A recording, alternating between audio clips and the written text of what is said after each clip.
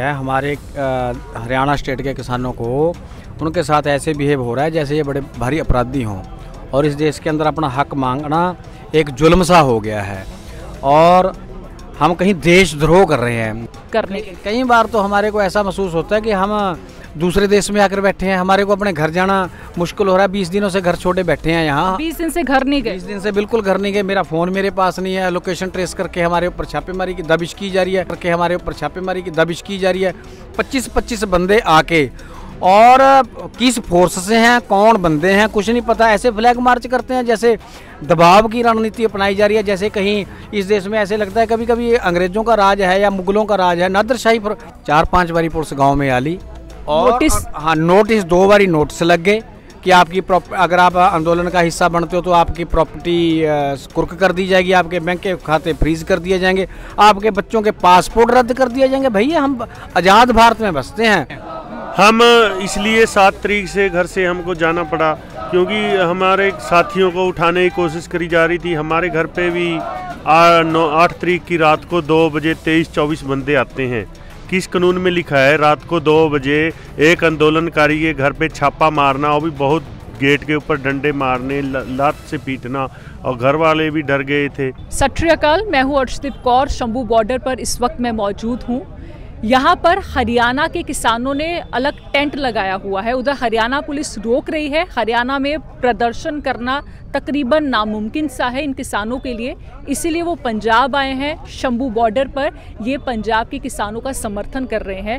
हम हरियाणा में क्या हालात है, इनसे ही जानते हैं। क्या चल रहा है हरियाणा में? कभी एनएसए की बात हो रही है, कभी कहा जा रहा है कि आपकी ज़मीन जो है, वो जब्त कर ली जाएगी, आपके अकाउंट जो है, वो फ्रीज कर लिए जाएँगे। तकरीबन मैंने इस टेंट में जितने किसानों से बात की है, उनके पास नोटिस आ रहे हैं, पुलिस उनके घर पहुँच रही है। क्या हालात है हरियाणा में? हालात बहुत ख़राब हैं हरियाणा के अंदर। जैसे कि आप को लगभग मालूम ही है, हमारे हरियाणा स्टेट के किसानों को उनके साथ ऐसे बिहेव हो रहा है जैसे ये बड़े भारी अपराधी हों। और इस देश के अंदर अपना हक मांगना एक जुल्म सा हो गया है। और हम कहीं देशद्रोह कर रहे हैं, जो हमारे ऊपर एनएसए वगैरह लगाई जा रही है, वो तो देशद्रोही लोगों के ऊपर लगाई जाती है।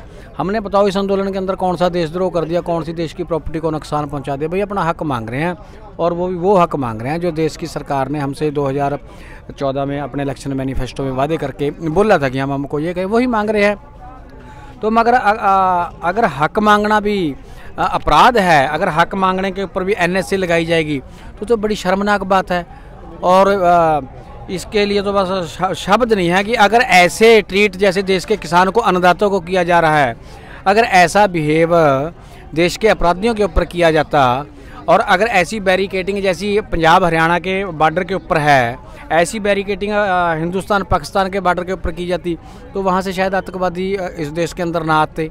हरियाणा में तकरीबन 10 साल हो गए खट्टर सरकार है। इस बार फिर से वो सरकार बनाने की तैयारी कर रहे हैं। क्या लगता है ऐसे हालातों में खट्टर साहब रिपीट कर पाएँगे अब फिर से? देखो ये मेरा विषय नहीं है। वो रिपीट करते हैं वो जनता का मैंडेट है। वो जनता किसको अभी तो जनता है। मैं मैं बताता हूँ। वो जनता चुनेगी। हम ये चाहते हैं कि हम किसान हैं। अगर देश का किसान और स्टेट का किसान खुशहाल रहेगा तभी ये खुशहाल रहेंगे वरना खुशहाल ये भी नहीं रहेंगे। मतलब आप हरियाणा में प्रोटेस्ट नहीं कर पा रही इसलिए आपको पंजाब आना पड़ रहा है पंजाब के किसानों का समर्थन करने के लिए। कई बार तो हमारे को ऐसा महसूस होता है कि हम दूसरे देश में आकर बैठे हैं हमारे को अपने घर जाना मुश्किल हो रहा है बीस दिनों से घर छोड़े बैठे हैं यहाँ। बीस दिन से घर नहीं गए। बीस दिन से बिल्कुल घर नहीं गए मेरा फ़ोन मेरे पास नहीं है लोकेशन ट्रेस करके हमारे ऊपर छापेमारी की दबिश की जा रही है। पच्चीस पच्चीस बंदे आके और किस फोर्स से हैं कौन बंदे हैं कुछ नहीं पता। ऐसे फ्लैग मार्च करते हैं जैसे दबाव की रणनीति अपनाई जा रही है। जैसे कहीं इस देश में ऐसे लगता है कभी कभी अंग्रेज़ों का राज है या मुगलों का राज है नादरशाही राज इस देश के अंदर बीस दिन से आप यहाँ पे है कितनी बार पुलिस घर पे आई है? चार पाँच बारी पुलिस गाँव में आली। और नोटिस? हाँ नोटिस दो बारी नोटिस लग गए। कि आपकी अगर आप आंदोलन का हिस्सा बनते हो तो आपकी प्रॉपर्टी कुर्क कर दी जाएगी, आपके बैंक के खाते फ्रीज कर दिए जाएँगे, आपके बच्चों के पासपोर्ट रद्द कर दिए जाएँगे। भैया, हम आज़ाद भारत में बसते हैं और संवैधानिक हक है हमारा प्रोटेस्ट करना। ये तो बड़ी शर्म की बात है हरियाणा सरकार की ओर से जो हमारे ऊपर ऐसे धक्केशाही की जा रही है। अगर, कमाल की बात ये देखो, खाने के लिए लंगर चाहिए ना। अगर गाँव के गुरुद्वारे में हम अनाउंसमेंट भी करते हैं कि आप लंगर लेके पहुंचो आंदोलन में तो वो पूछने जाते हैं ऐसे दबिश करते हैं बताओ भी किसने अनाउंसमेंट कर दी? अनाउंसमेंट करना भी गुनाह है। अनाउंसमेंट करना भी गुनाह हो गया कमाल की बात तो ये देखो आप ये बड़ी शर्मनाक बात है। देश की लंग, लोगों ने इनको मैंडेट दिया कि आप सरकार चलाओ। इसका मतलब ये थोड़ा कि आप देश के किसान को मारोगे। ये बड़ी शर्मनाक बात है। और एन से तो उ- उन लोगों के ऊपर लगता है जो देशद्रोही है। हमने बताओ भी कौन सा देशद्रोह कर उन्होंने फैसला वापस ले लिया कि एनएसए नहीं लग रहा है। पर बाकी तो कार्रवाइयाँ हो रही हैं। इसका मतलब ये था ना कि पहला फैसला गलत था। इसका मतलब ये भी था कि तीन काले कृषि कानूनों वाला भी फैसला गलत था। ऐसे अनेकों गलत फैसले ले रही है इससे ये भी लगता है कि ये सरकार ही गलत है। इसकी मंशा ही गलत है। ये देश गलत लोगों के हाथ में चला गया। हमारे हमारे को ये भी लगता है कि जो सीधा टारगेट हमारे ऊपर पुलिस के और प्रशासन द्वारा किया गया है, वो हमारे देश के किसान नहीं हो सकते, क्योंकि किसान और जवान एक ही घर के बेटे हैं। एक भाई दूसरे को ऊपर ऐसे टारगेट करके नहीं मार सकता। हमारे को ये लगता है इन्होंने अपने कोई खाकी निकर वाले शायद इसके अंदर डाल रखे हैं।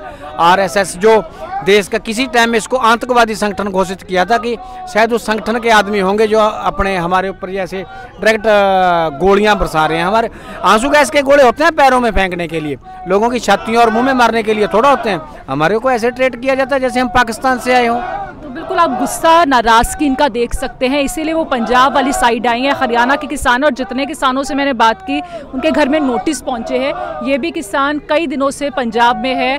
हरियाणा वापस जाना चाहते हैं आप?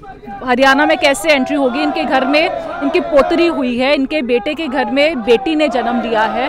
लेकिन अब तक इन्होंने अपनी पोतरी का मुँह नहीं देखा है, क्योंकि हरियाणा में एंट्री से इनको डर लगता है। डर नहीं मैं कहूँगी इनके घर नोटिस आ रहे हैं। डर शब्द मुझे लगता है कि यहाँ पे बैठे जो किसान उनके लिए बना ही नहीं अगर डर शब्द आप इस्तेमाल कर दोगे तो आप वो कहेंगे कि नहीं हम डरते नहीं हैं हम डटे हुए हैं। क्या कहना चाहेंगे आंदोलन कर रहे हैं। हम इसलिए सात तारीख से घर से हमको जाना पड़ा क्योंकि हमारे साथियों को उठाने की कोशिश करी जा रही थी। हमारे घर पे भी आठ तारीख की रात को दो बजे तेईस चौबीस बंदे आते हैं। किस कानून में लिखा है? रात को दो बजे एक आंदोलनकारी के घर पे छापा मारना और भी बहुत गेट के ऊपर डंडे मारने लात से पीटना और घर वाले भी डर गए थे। उन्होंने पूछा भी कि, अंकल, हम कैसे मान लें कि रात को पुलिस आई है कि गुंडे आए हैं? ये तो कोई तरीका नहीं है। हम बाद में हम केस भी लगाएँगे, अपने एसपी साहब पर पक्का केस लगाएँगे कि किस रूल के तहत मेरे घर पे कैमरे लगी हैं। पूरी मेरे पास वीडियो पड़ी है डेट की, सारा कुछ पड़ा है और फिर 10 तारीख को मेरे पोती होती है। तो फिर इन्होंने वहाँ पे सिटी में भी जो हॉस्पिटल था, वहाँ पर भी जिप्सी लगा के रखी है। उसके बाद कल फिर मेरे घर पे एक बस, ये जो मिलिट्री वाली वर्दी वाली थी एक लेडी पुलिस थी दो सदर थाने की गाड़ियाँ थी। सदर थाने की सारी पुलिस लग जाए हरियाणा की सारी पुलिस लग जाए। क्या गुनाह किया है आपने? हाँ, कोई क्या गुनाह किया? हम आंदोलन करते हैं बस। लोगों के हकों के लिए पूरे देश के हकों के लिए हम आंदोलन करते हैं। उसके लिए लगता है कि पता नहीं कितना बड़ा दिया। हथियार रखकर आप आंदोलन कर रहे हैं। क्यों? मतलब आंदोलन तो आप कह रहे हो शांतमय कर रहे हो। मैंने भी जितना आपको देखा आप शांत होकर यहाँ पर बैठे हो।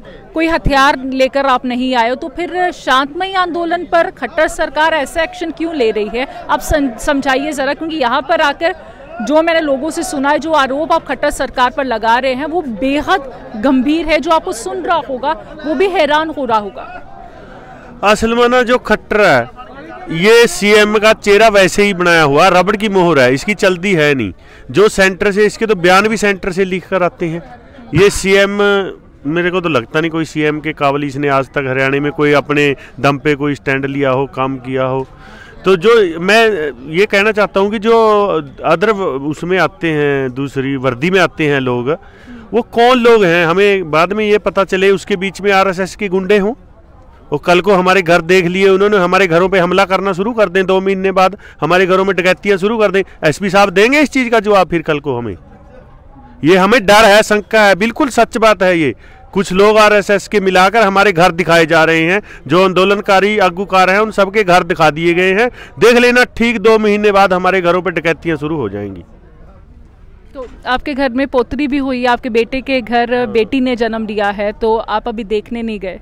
बिल्कुल जाने ही नहीं देती पुलिस। हम घर गए हमके पकड़ लिया जाएगा फिर हमारा आंदोलन में आना बिल्कुल मुमकिन नहीं है। अब तो बाद में जितने पर्चे होंगे देख लेंगे।